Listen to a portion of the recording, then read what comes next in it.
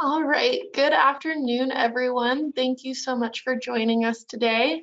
My name is McKenna Sturgeon. I am the Training and Marketing Specialist for the Colorado Municipal League. I'd like to welcome you all to today's webinar. Um, it's the third installment of our election series as we prepare for April 2022 elections. Our webinar today focuses on signature verification, ballot format, and canceling an election. So just ahead of, you know, hopping into this webinar, we did want to give you guys a heads up if you're new to uh, GoToWebinar or just, you know, our webinars in general. Um, today's webinar is being recorded and it'll be available on our website along with the PowerPoint slides for reference. So we ask for about 24 hours to get those posted and then I will send a recap email with the link with all of that information for you once it's available. Um, Additionally, attendees of today's webinar can also apply for one half credit with CMCA, that's the Colorado Municipal Clerks Association. To apply for that credit, you'll need to complete and submit an assessment form. I'll explain how to do that later in this webinar, as well as send that form along with all of the other information that I do in my recap email. Um, so for those of you new to GoToWebinar, you should see a control panel on the right of your screen. This is where you're going to be able to ask questions. Please feel free to leave questions throughout the webinar. I will be interrupting as Karen speaks um, so that we can get those all answered. And any questions that don't get answered, we'll also download and make sure that we get to you um, later and we'll follow up on those. Um, so with all of that, I'll introduce Karen really quick, not that she needs any introduction. Um, Karen Goldman, MMC, currently runs the Municipal Clerk Advisor Program, which was created by CML, CIRSA, and CMCA as a free service to assist municipal clerks with specific job-related questions.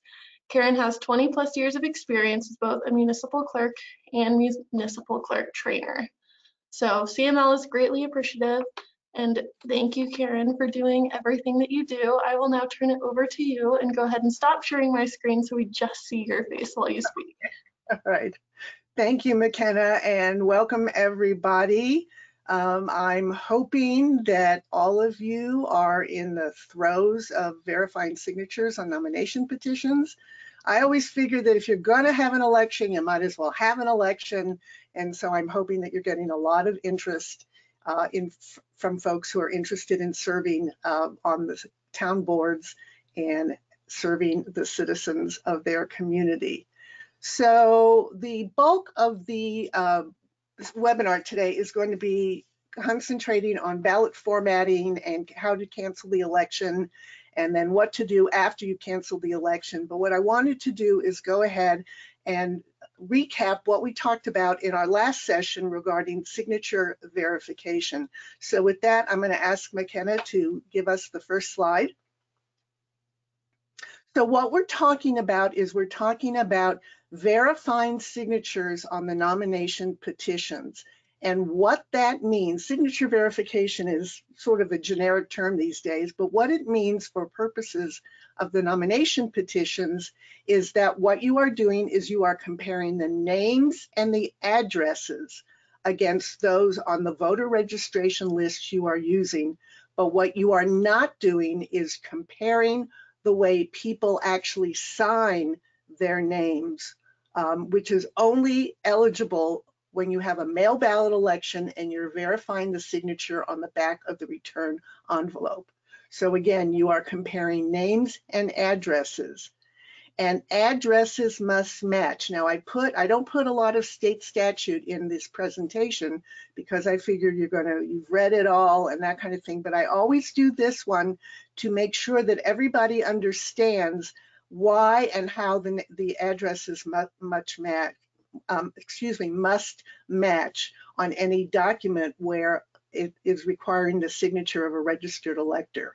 And so this particular citation is actually the definition of registered elector. And it does say that whenever a registered elector is required to sign any document, a person is considered properly registered if the name and address on the document matches the name and address on the voter registration list. And what we're really concentrating on here, are focusing on here, are the addresses.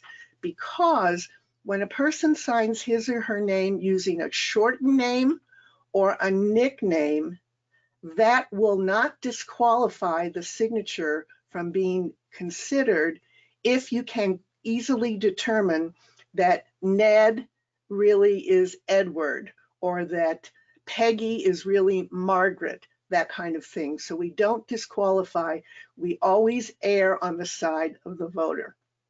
Now, when you are disqualifying the signatures, I strongly suggest that you identify the reason for disqualification. You can you can uh, create codes. Um, if you can't read it, it's illegible, you can use the code IL. If they're not registered, you can use NR for, for not registered. If the addresses don't match, you can use WA for wrong address. There aren't a lot of reasons for disqualifying signatures, but it's always a good idea to let people know why you've disqualified a particular signature because if the petition needs to be cured, they need to know why, or they should know why, or it's a good idea to let them know why okay?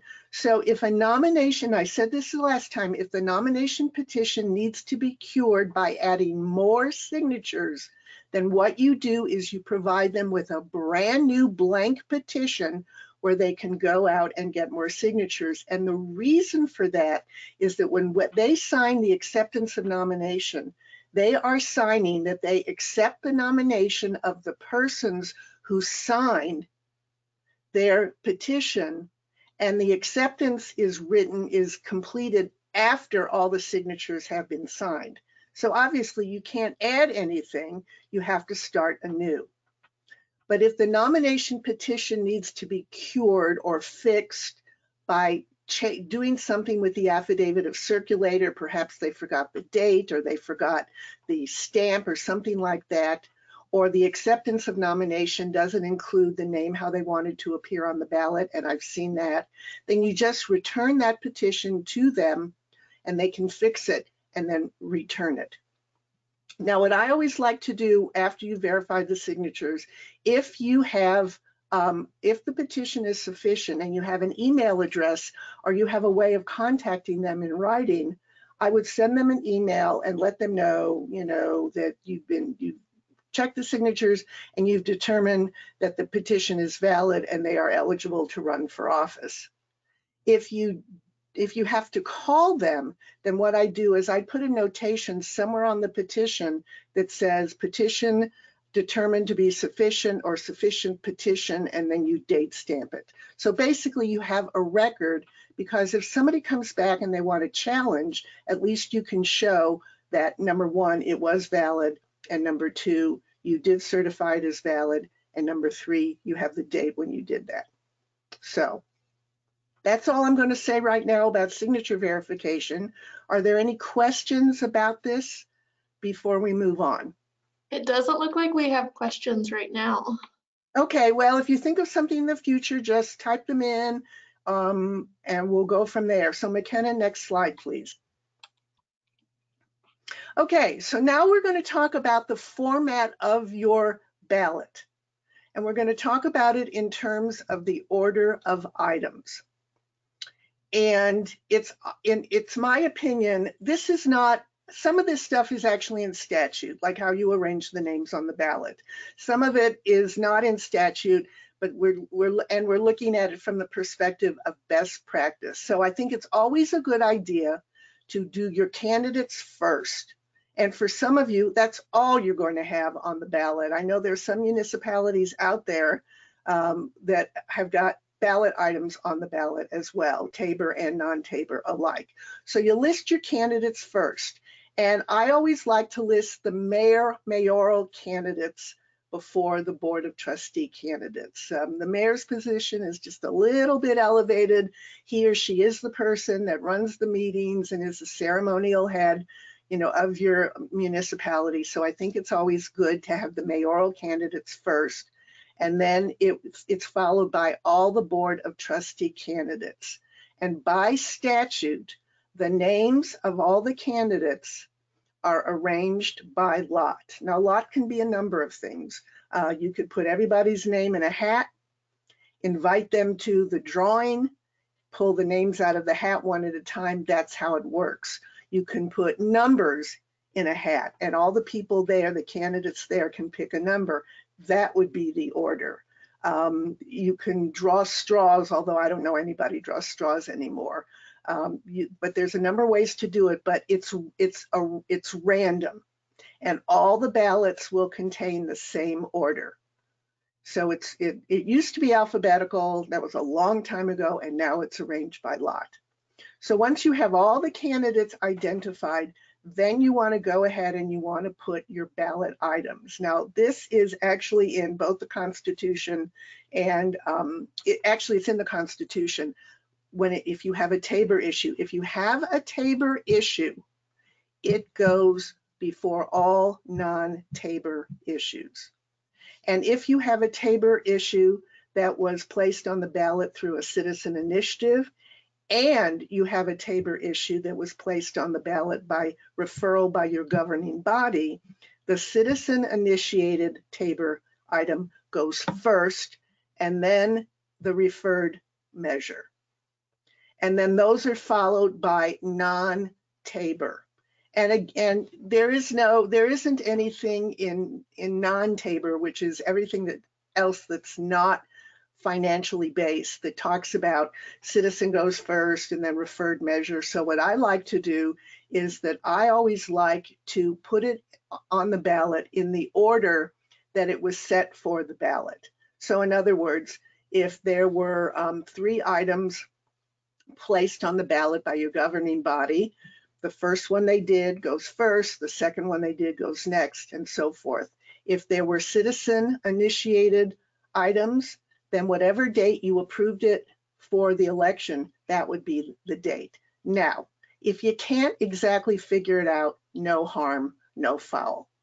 It really, but it's it's just a matter. And then once you establish a procedure, remember consistency for the future is the best way to do it. And I think that you want to establish a procedure because, you know, if you've got some citizen initiated things, you've got some things on the ballot that are pretty controversial, people might assume that you put the ones you want to pass first because there have been studies that talk about ballot drop off or people are less inclined to vote. And I just think it's a good idea to be able to justify how you put them on the ballot and why. Next slide, please. We have a quick question before we move on. Okay. So if only one person runs for mayor, do you still put their name on the ballot along with the trustee choices? Absolutely. And we'll get to that. We'll get to, uh, and that goes uh, hand in hand with the idea of canceling the election. So we'll talk in more detail about that later on today, but the answer is absolutely yes. Okay. Thank you. Next slide, please. Okay, so here we go again for the ballot form format. If you are if you are counting your ballots by hand, then what you'll do is you'll put the name of the person and then it's followed by a blank line. And I think statute says mark an X, but if somebody puts a check mark, that's the same thing as an X. Usually when you've hired a firm to, um, and you're renting equipment to count the ballots, so they're being counted by machine. Generally what happens is there's like a circle or an oval that follows a person's name and the instructions are to fill that in. So I just wanna let you know that those are the, the two types of voting um, means that you'll see on ballots. And then what you want to do is you want to identify the maximum number of candidates a person may vote on. And remember, people can vote on as up to as many candidates as there are positions to be filled. So for mayor, it would be one. So you would say vote for not more than one or vote for no more than one. In a, I'm going to call it a normal election, where you don't have any shortened terms on the ballot. And then again, we're going to talk about what that what that means later on. When you only have the full year terms, usually for the Board of Trustees, for people who have six trustees, there'll be three. So it would say vote for not more than three or vote for no more than three. And, um, but where there are shortened terms also that are to be voted on, whatever the number of positions, it could be four, it could be five. I hope it's not six, but it, it could be in some situations, but whatever the number is, you want to identify the maximum number that people can vote for. They don't have to vote for that total. So if you vote, can vote for three and they only vote for two, or they only vote for one, that's still okay. You just count whatever vote is marked. Um, if they count, if they vote for more than what they're permitted, then you count none of the votes because they can only vote for three. They put down five. Which three are you going to pick? You're not because it's not your job. And then I believe that the length of the term of office is not necessary to be placed on the ballot. And when you've got both shortened terms and full terms on the ballot to be voted on at the same time, it is absolutely impossible to list the terms of office. Remember, if you have full terms and shortened terms, people, when they run for office, they do not circulate a nomination petition with the idea that they're only going to run for the two-year term or they only they don't want to be considered for the shortened term. They only want to run for the full term. That doesn't happen because that's not the way whoever gets the full term and the shortened term. That's not how it's determined. And again, you'll see that later on. Questions here? Um, I don't think so. All right, let's keep going then.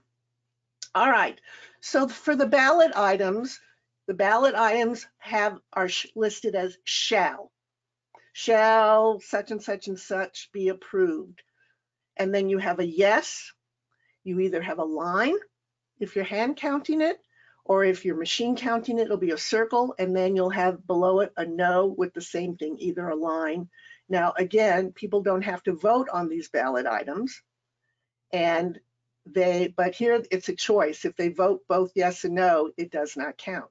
Now, sometimes what you're going to see is that somebody maybe marks like a, a, yes, and then they write a note. I didn't mean to do this. Well, you can divine voter intent by that note, so in this particular case, if they yes, and then they go, I didn't mean to do that, and they also mark no, then when the ballot is counted, it's a no. A machine will, I, will probably throw that out and not be able to count it because it's not programmed that way, and we'll need human eyes among from the judges to determine what the intent is. So if it's a Tabor item, it has to be printed in all capital letters. But if it's not a Tabor item, then you just use what I call normal typeface. The first word and all proper nouns are capitalized and everything else is in lowercase.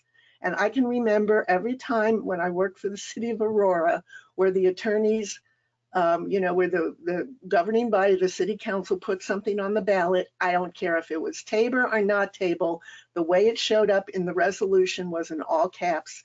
And it was up to me to know the difference and not put all caps for something that doesn't need it. All caps is really jarring to read, as I'm sure you've noticed when you've had to vote on a Tabor issue yourself.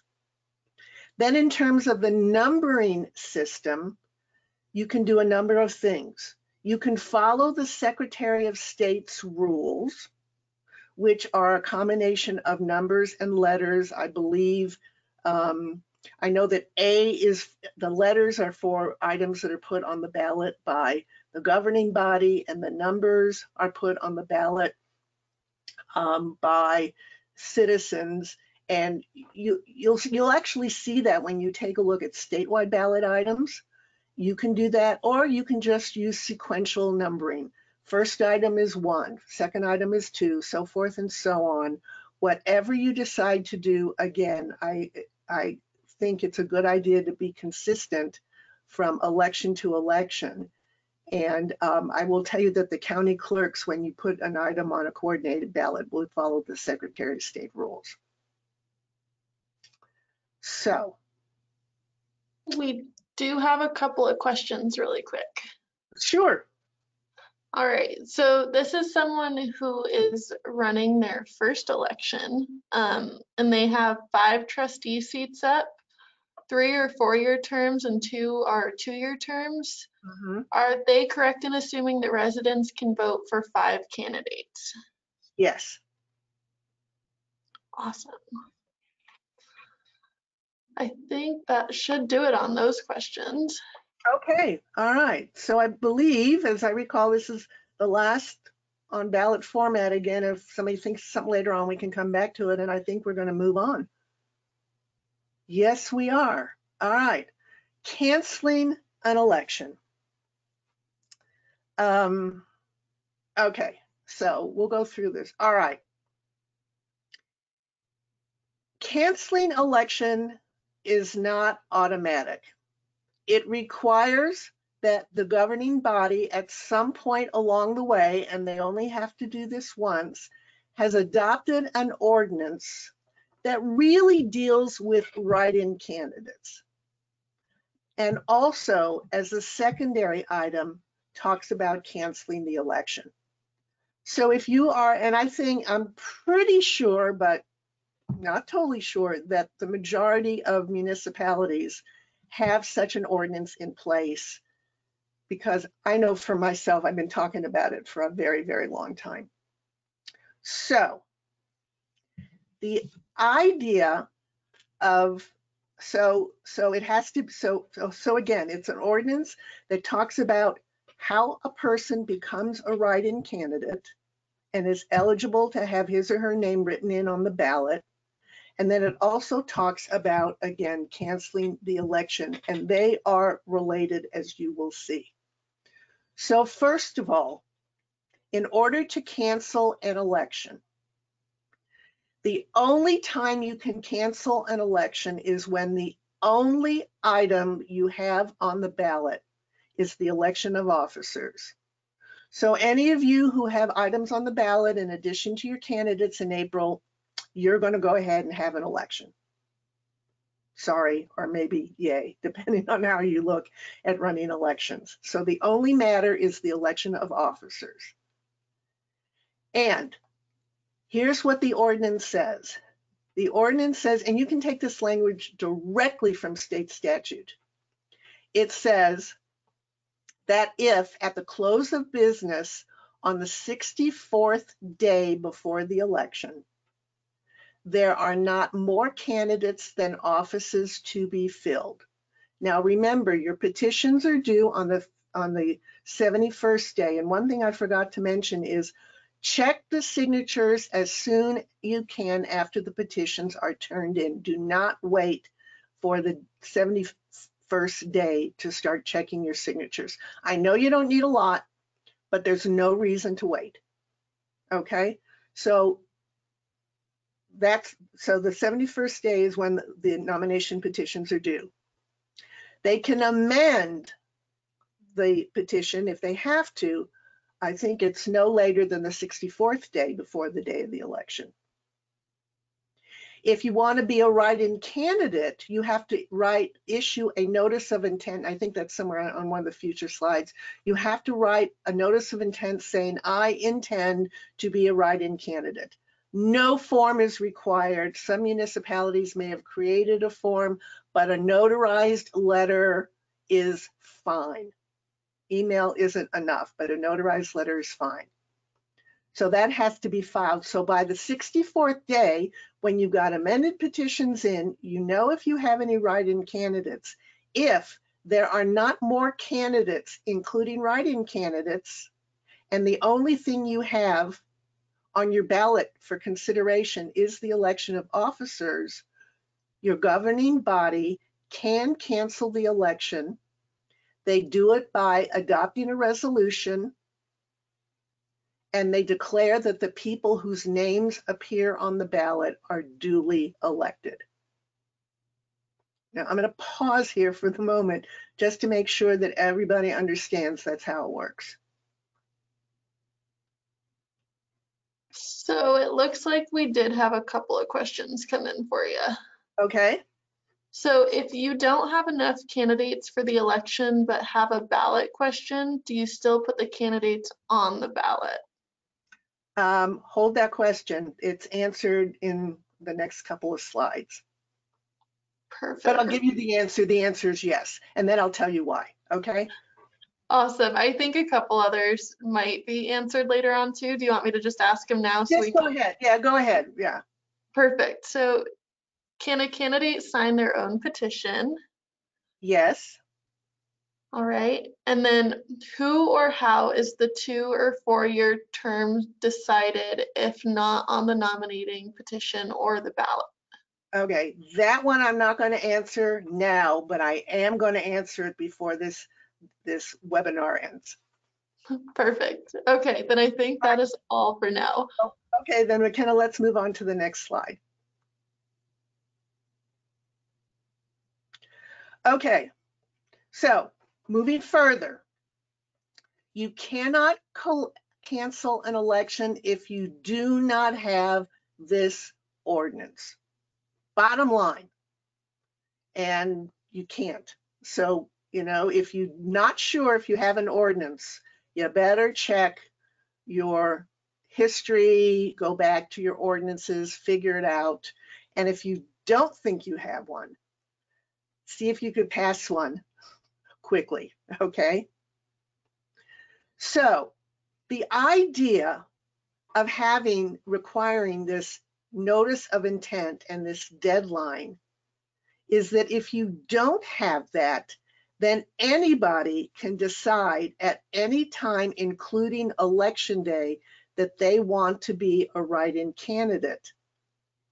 And let's say without the ordinance, you've got three people up, you've got three candidates.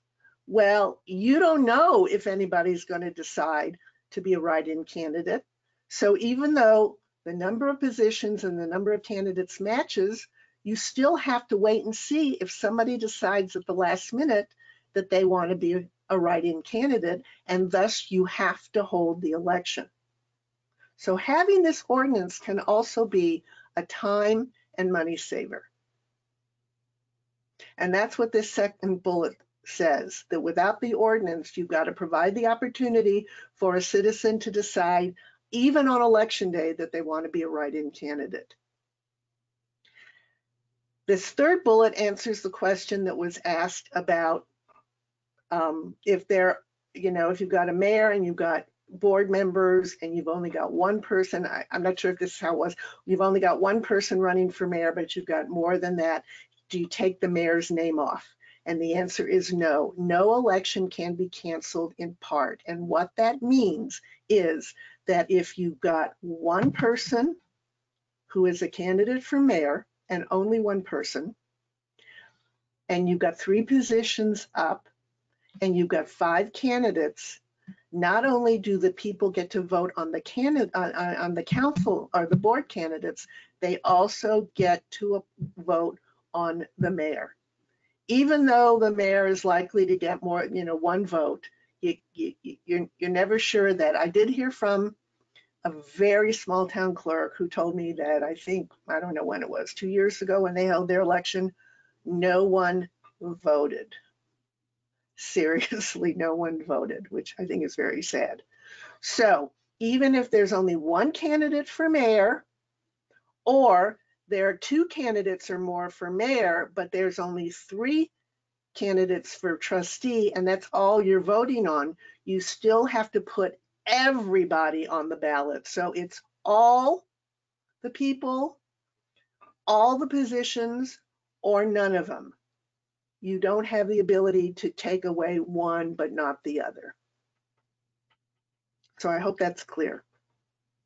And then after the cancellation has been um, made by resolution and the people declared appointed, then you would post a notice note that the, the, the election has been canceled and here who here's who got elected.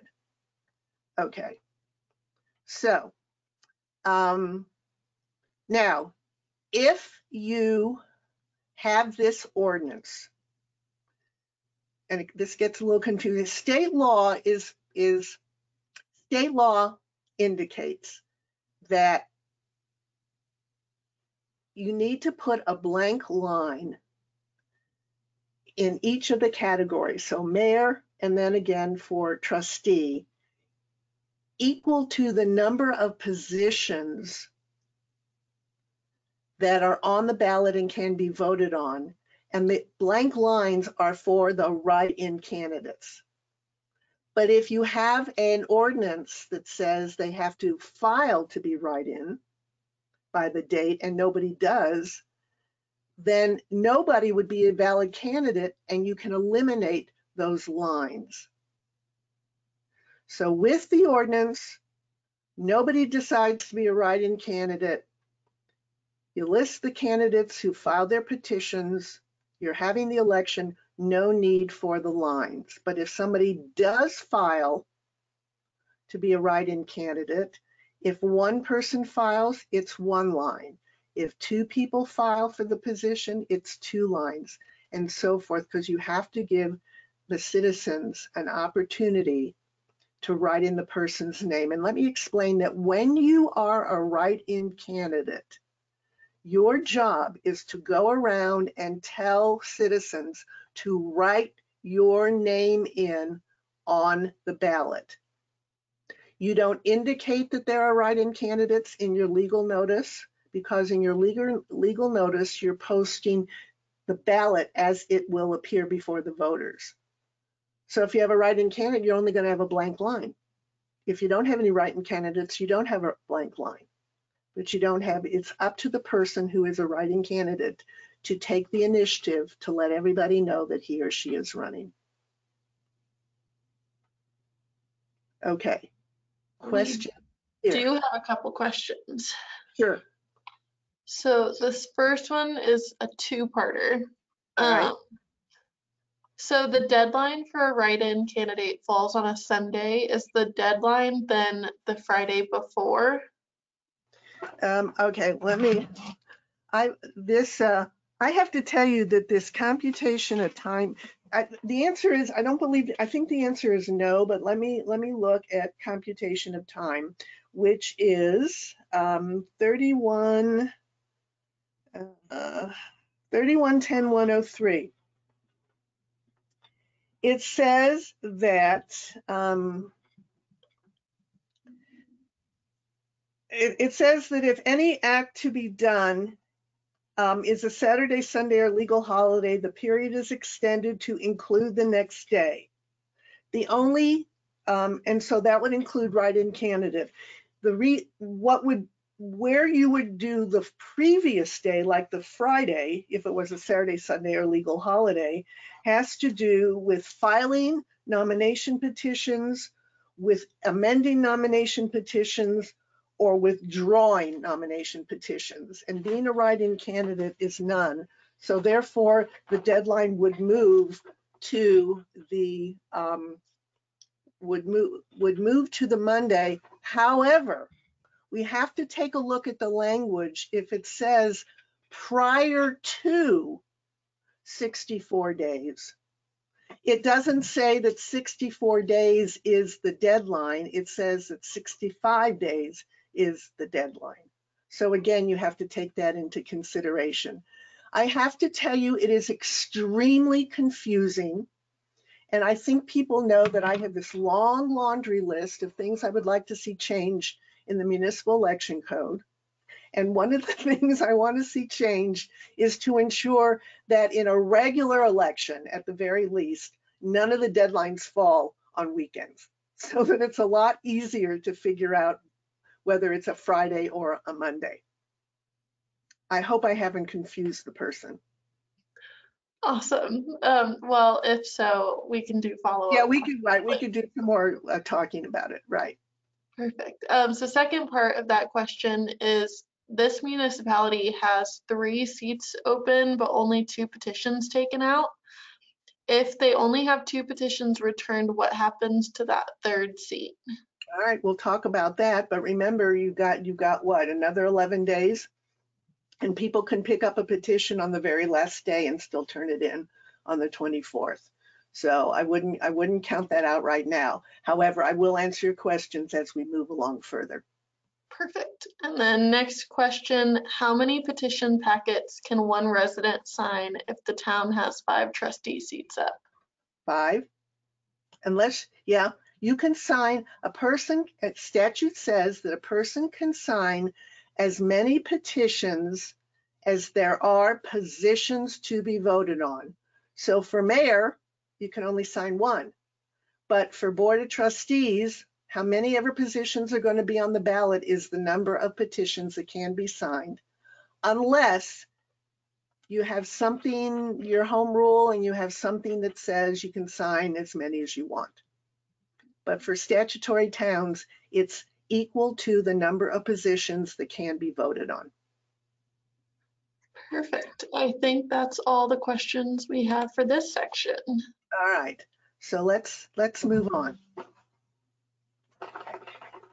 Okay, we've talked a little bit about write-in candidates, so we'll, um, we'll, I just kind of repeat what we talked about. So with an ordinance, a person can be a write-in candidate by filing an affidavit of intent. Affidavit means it's got to be notarized prior to 64 days before the day of the election. So the deadline would be 60, the 65th day. Okay? And, and it does, again, it doesn't have to be a form. You know, I, I, I think we're kind of, we overly form our, form ourselves, or we want more forms than we need to. There's nothing wrong with forms, but absent a form, you know, good old letters are, you know, people still write letters, and those are just particularly are fine. If you don't have this ordinance, and remember, the ordinance has to do two things. It's not enough for just to talk about being a write-in candidate. It also has to include a section that talks about canceling the election. Um, I remember in the past talking to a clerk where they had the first one, but they didn't say anything about the cancellation. So these two things have got to be linked. So if you don't have an ordinance, then you can't require an affidavit of intent. Any name can be written in and you cannot cancel the election. So with an ordinance, if they're eligible write-in candidates, those who filed the affidavit of intent, you list as many lines as there are positions to be voted on. In other words, well, and basically it, what, what you do is as many lines as there are people who want to serve as write-in candidates. But if there are no eligible write-in candidates and you have the ordinance and you can't cancel election, you don't have to have any blank lines.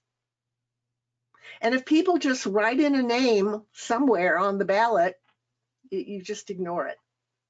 And one of the reasons we we put this in statute is, and this is true. I mean, people people were writing in their own names. They were writing, you know, they were writing in Mickey Mouse. They were writing in, you know, movie star names. It was it was pretty amazing. And people in the before this ordinance any name that was written in, regardless of whether it was a real person or not a real person like Mickey Mouse, those names had to show up on the abstract of votes with the number of votes cast for those people, which of course was not just ridiculous, was sort of embarrassing. So we wanted to more professionalize how things look, and that's why we did that. If you don't have an ordinance, again, as many lines as there are positions to be voted on. So I think I beat this dead horse enough. Any further questions before we move on? We do have a couple. All right. Uh, do we need to pass this ordinance every election or is it one ordinance that covers all regular elections? I- I think it's just one ordinance that you would, you adopt. And I think the language could include some statement that makes it clear it's for all elections. Perfect. Um, and then can a municipality pass an ordinance regarding write-in candidates at any time before the election? You, m- I, am not sure what that means. Um, If you mean having another deadline other than the prior to 64 days, I don't know why you would. Um, You know, the idea is, you know, in the, in the old days when we were, when we were um, circulating nomination petitions from the 50th to the 30th day before the day of the election, we still have these same provisions, but the cutoff was 20 days before the day of the election.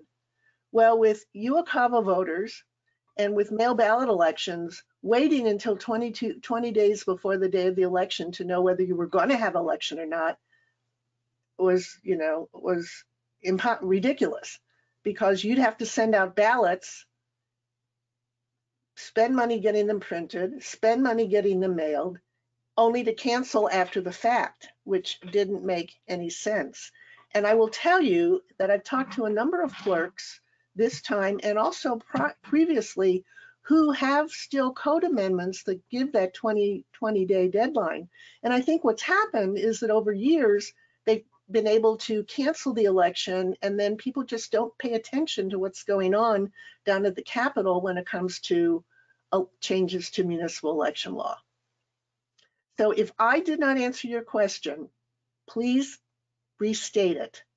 Um, But again, I think when statutes are, are passed, they're vetted by the municipal league, some municipal clerks, um, staff down at the Capitol, and for the most part, they work.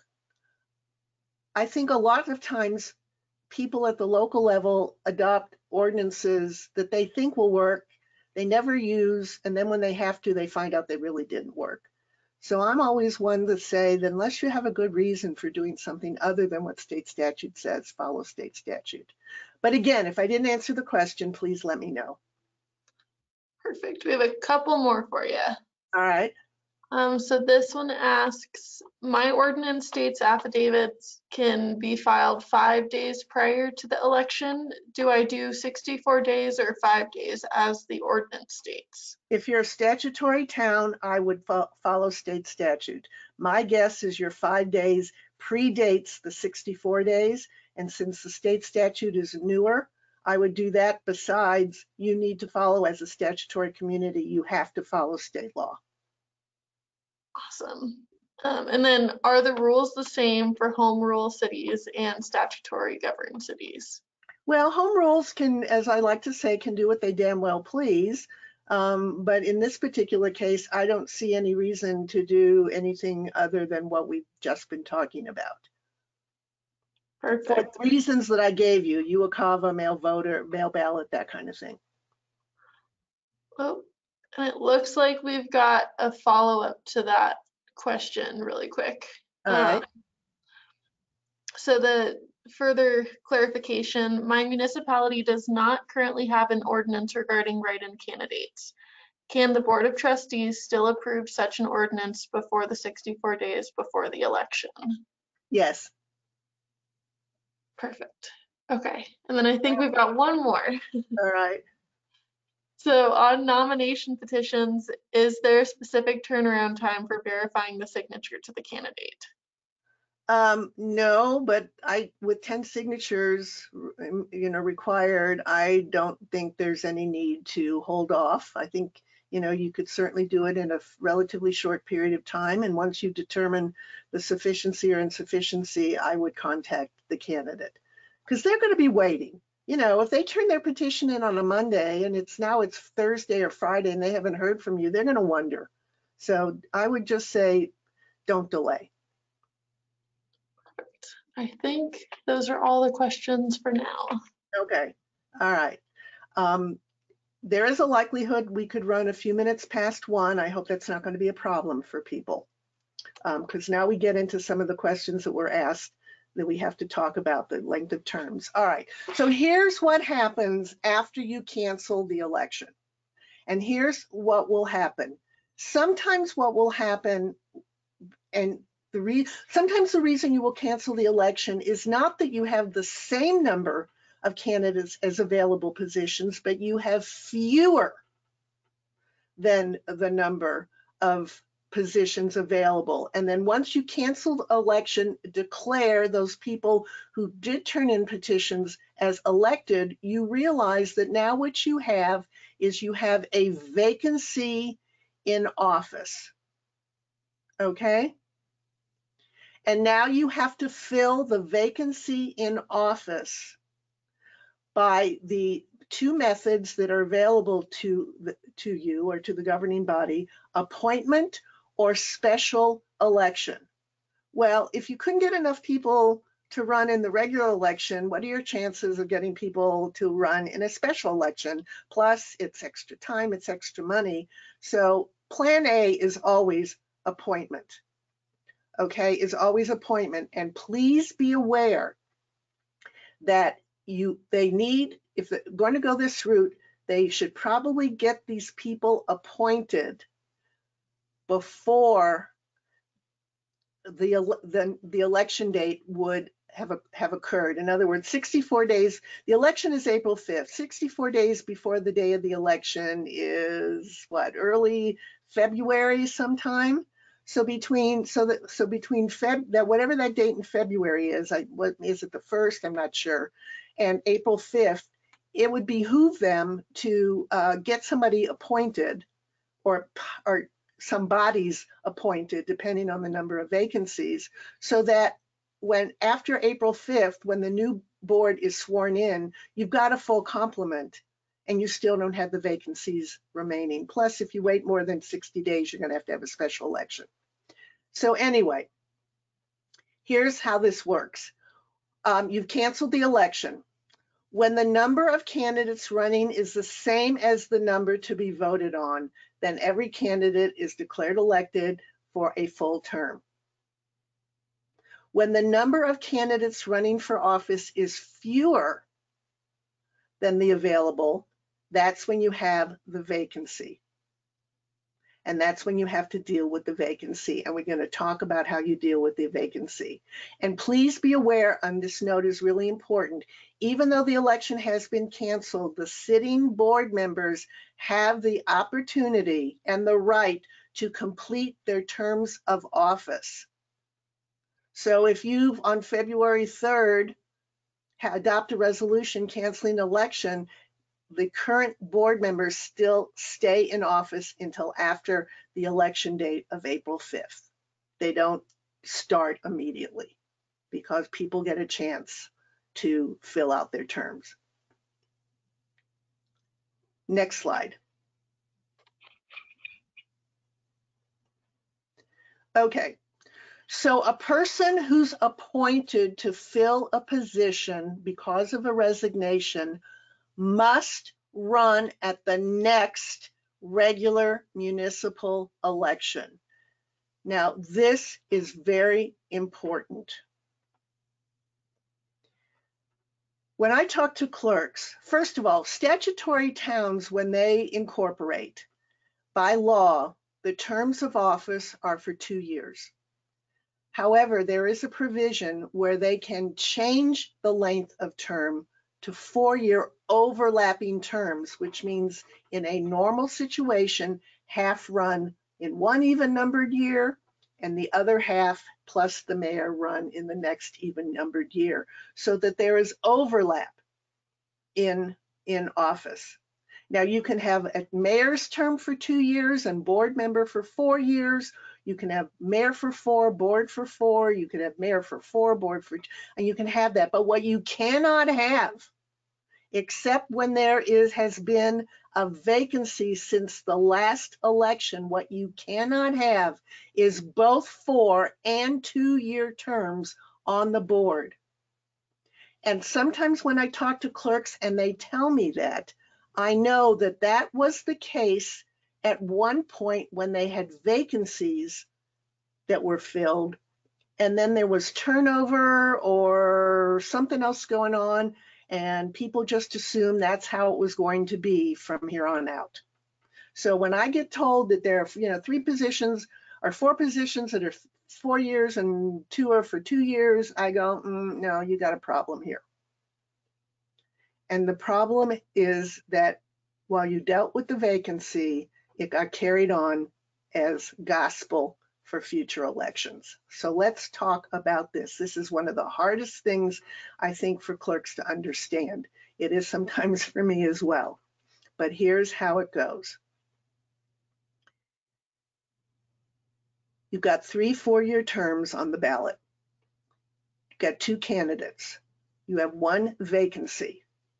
If there had been a candidate, the person would have would serve for four years, but because there is a vacancy and you're going to appoint somebody, the person who is appointed must run at the next election, even though that is not when that position would actually be on the ballot.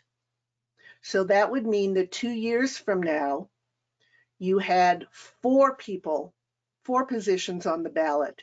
The three whose term would normally be on the ballot, whose positions would normally be on the ballot, plus the shortened one. So now you have four. The way you determine who gets the full and who gets the shortened term is by the number of votes that they receive. And I want you to write down this statute number. 31-10 dash 1205 1205 parentheses 1.5 because that's in statute where you find the requirement to do it in the way I just described. 31-10-1205 1.5 and the only reason that I know it by heart is because I've been talking to several clerks about it over the last few days. So the sub bullets, if the election is the, if the, if there is the one where the position would normally voted on, then whoever gets elected gets a four-year term. If it's not, it's for a two-year term. And a person who is currently on the board with a four-year term running for reelection may or may not get another four-year term if there is a shortened position on the ballot. It all depends on how many people vote for him. So it's no guarantee.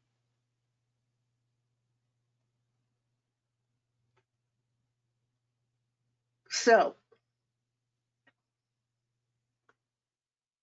the last bullet, the third, the second big bullet I've just talked about. So the last one is when people pick up nomination petitions and you have a situation which was just described where you have five positions on the ballot, three would be for the full year term and two would be for the shortened term. You don't have a petition that says, um, I, Karen Goldman, am running for the position of board of trustee for a two-year term or for a four-year term. I'm just running for a position on the board. And depending upon who votes for me will determine number one, first of all, if I get elected, and number two, whether I get elected for a four-year term or a two-year term. And if you can remember this, so basically, if somebody resigns, well, we talked about resignations before. So if there is a, so if you if you look at your last election and you saw that you had four-year terms and two-year terms or full terms and shortened terms, it was because somebody resigned from their position after the last election, or the election was held and there was a vacancy and the person was appointed and has to run again. Now I'm going to pause and give you the chance to wrap your head around this if you think about it and you read the statutes and you read what we've written here and you think about it, it really does make sense.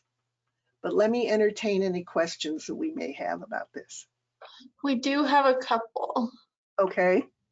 Um, so the first says, if I understand correctly, one of my council members will be, oh, sorry, lost my question really quick. Um, all right, if I understand correctly, one of my council members will be running for mayor, leaving his remaining two years vacant. The person appointed to fill that vacant position must run for election at the next regular election.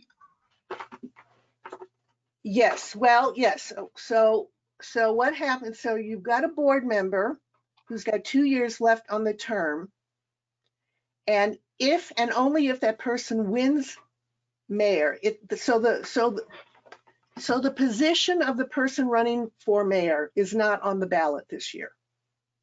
Because it only becomes vacant if the person becomes mayor. If the person loses, then he or she can still serve the remaining two years of the term. And that's come up a couple of times. But let's say a person with two years remaining in office gets elected mayor. Now there is a vacancy in the, once the, once the person is sworn in and resigns from the position of trustee, there is a vacancy. That person appointed would run in the net, would serve for two years. And since the next election would be one for where the petition, position would normally be on the ballot, that position would then become a four-year term. Perfect. Gotcha. Okay. Thank you. Um, and then we've got someone who would like a little bit more clarification on the terms. Um, they said, I think Karen is saying that you can have a board comprised of three two-year terms and three four-year terms. Is that correct? No, no, the only way, no, it's either or. You either have all board members serve two-year terms or all board members serve four-year terms. That is normal. What happens is that you can have an election where you have all six positions on the ballot. Three of them would normally be on the ballot. The other three are on the ballot because people fill, people resigned or election was canceled or something like that. People were appointed and now they have to run in the next election and those positions would not normally be up. The best thing to do, and I know it's difficult because some of the records are not the best, is to go back to your prior elections and see what happened. And you may have to go back two or three election cycles to figure out, you know, when the position would normally be on the ballot. Did anybody resign? Did anybody get appointed? And please, for the future, make sure those records are clear and accurate. So the answer is no, you can only have full and shortened terms if you're trying to fill, if you have filled um, a vacancy and it's, and this is your next election. So the vacancy occurred somewhere between April of 2020 and now. Hopefully that is clear. Awesome. Um, and then we've got one more for you. Okay. Um, what happens if you cancel an election because you have the exact amount of people running as open and you are filling two-year terms because of previous resignations and they are appointed or to make the alternating terms? Okay, so that statute I gave you is pretty clear that when you have differing terms on the ballot, you cannot cancel the election, even if you just have the same or fewer number of people. However, there, there might be a way to do that. But remember, if you got a mayoral race, but there's only, but there's still only, but you're dealing with, with board of trustees and there's, you know, only the same number, whatever, if you've still got a mayor race, you don't cancel anything. And everybody gets to vote, even though there's only three people running for three positions or four people running for four positions. If there's a mayor's race, you got to let people vote on everything. So one of the things I'd like to suggest, and this requires approval by your attorney.